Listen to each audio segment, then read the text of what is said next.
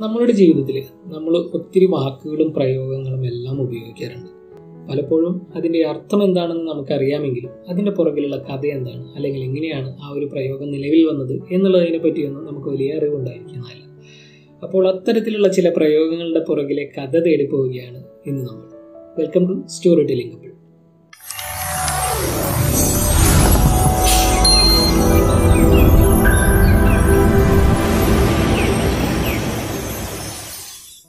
ഈ അറിവുകൾ നമുക്ക് പലയിടത്തു നിന്നും വായിച്ചതും അല്ലെങ്കിൽ ഇന്റർനെറ്റിൽ നിന്നും കിട്ടിയതും എല്ലാമാണ്. അപ്പോൾ ഈ പറയുന്ന കഥകൾക്കോ അല്ലെങ്കിൽ ഐതിഹ്യങ്ങൾക്കോ മറ്റൊരു തലമുണ്ടെങ്കിൽ അത് നിങ്ങൾ ഞങ്ങൾക്ക് കമന്റിലൂടെ പറഞ്ഞു തരേണ്ടതാണ്.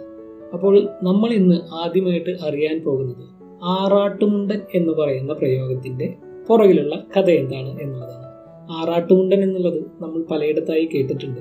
കേരള രാഷ്ട്രീയത്തിൽ ഒത്തിരി കോളിളക്കം സൃഷ്ടിച്ച ഒരു വിവാദത്തിന്റെ ഒരു വിവാദ പരാമർശമാണ് ആറാട്ടുമുണ്ടൻ എന്നുള്ളത്. ഒരിക്കൽ V S Achuthanandan A K ആന്റണിയെ ആറാട്ടുമുണ്ടൻ എന്ന് വിളിച്ചത് വളരെയേറെ വിവാദങ്ങൾ കേരള രാഷ്ട്രീയത്തിൽ ഒരു തവണ ഉണ്ടാക്കിയിരുന്നു. അപ്പോൾ എന്താണ് ഈ ആറാട്ടുമുണ്ടൻ എന്നുള്ളത്?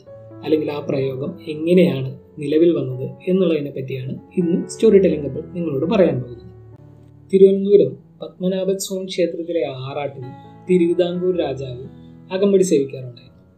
ശംഖുമുഖം കടപ്പുറത്തേക്ക് പോകുന്ന ഈ ഒരു ഘോഷയാത്രയിൽ നിരവധി ആളുകൾ പങ്കെടുക്കാറുണ്ട്.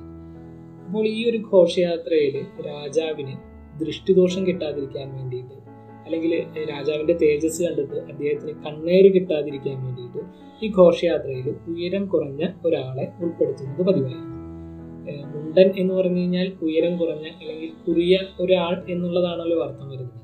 അപ്പൊ ഈ ആറാട്ടിന് ഈ ഉയരം കുറഞ്ഞയാളെ പങ്കെടുപ്പിച്ച് രാജാവിന് കിട്ടുന്ന ദൃഷ്ടിദോഷം മുഴുവൻ അതിൽ നിന്നും വഴിമാറി പോകുവാൻ വേണ്ടിയിട്ടാണ് ഈ ആറാട്ടിൽ ഇങ്ങനെ ഒരാളെ പങ്കെടുപ്പിച്ചിരുന്നത്. അത് പിന്നീട് തിരുവിതാംകൂറിലും പിന്നീട് അത് വളരെയധികം കേരളത്തിൽ എല്ലായിടത്തുമായിട്ട് പ്രചരിച്ചു വന്നതാണ് ഈ ആറാട്ടുമുണ്ടൻ എന്ന് പറയുന്ന പദപ്രയോഗം. ഇതുപോലുള്ള ഒത്തിരിയേറെ പദങ്ങളും പദപ്രയോഗങ്ങളുടെ പുറകിലെ കഥകളുമായിട്ട് നമുക്ക് വീണ്ടും കാണാം.